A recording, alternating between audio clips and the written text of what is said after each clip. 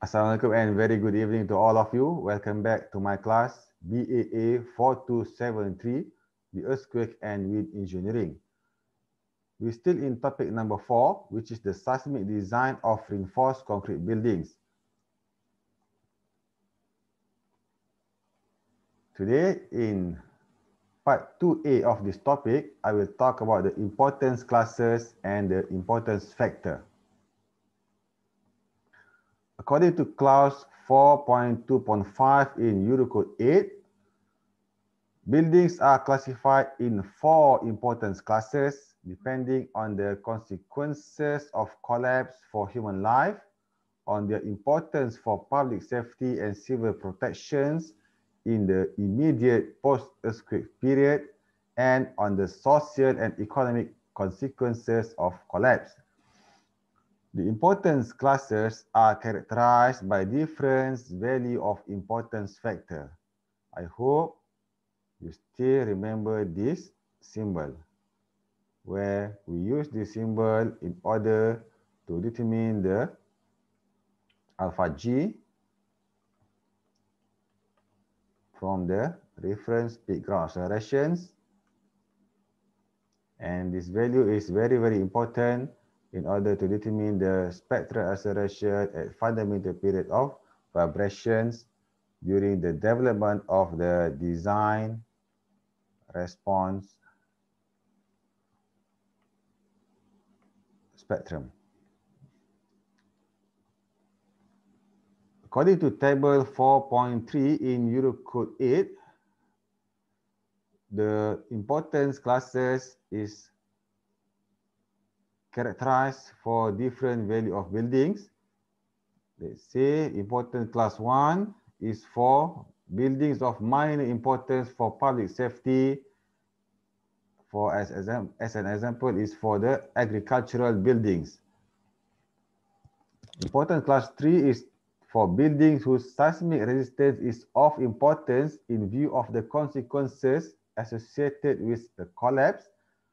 For example, is school, assembly halls, cultural institutions, etc.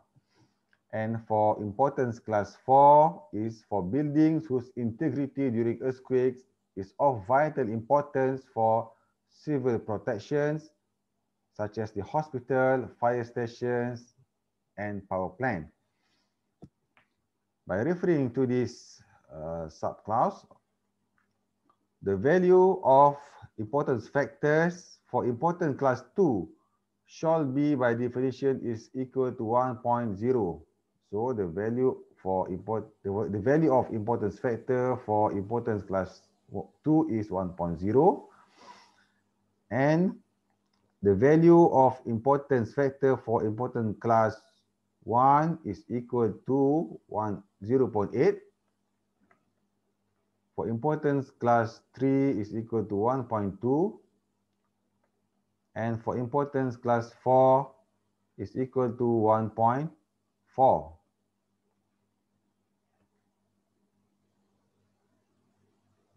And this is the recommended value of importance factor for Malaysia by referring to uh, table E1 in Malaysia National Annex.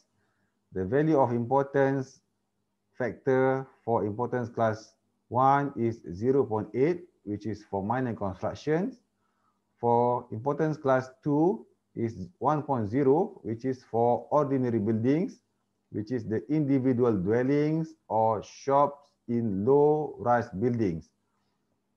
For buildings in importance class 3, which is for buildings of large occupancies, such as the condominiums, shopping centers, school and public buildings, the value of importance factor is equal to 1.2. And for the lifeline built facilities such as the hospitals, emergency services, power plants, and communication facilities, the value of importance factor is equal to 1.5 and it classifies as importance class 4. So this is the difference between the recommended value from Eurocode 8 and the recommended value to be used uh, based on the Malaysia National Annex. that's all for this part. Thank you very much for your attention. Thank you very much for your time. Think positive. Assalamualaikum. Bye-bye.